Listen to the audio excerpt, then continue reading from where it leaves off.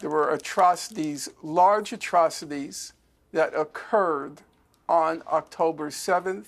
I think it's indisputable. You then asked me, would you consider it terrorism? I then replied to you, I think atrocities denote terrorism. However, I said I take the same attitude towards the perpetrators of those atrocities as, I, as the abolitionists in the United States took towards the Nat Turner Rebellion.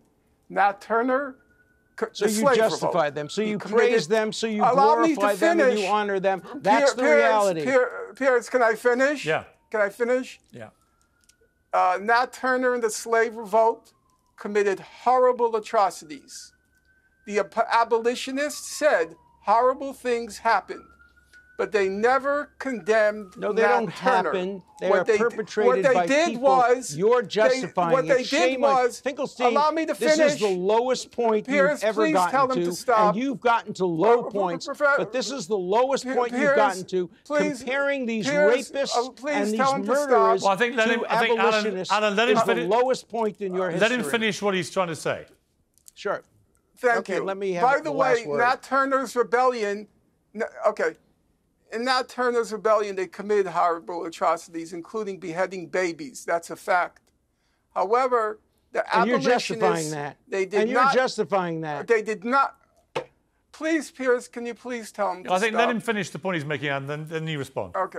Thank you. Thank you so much.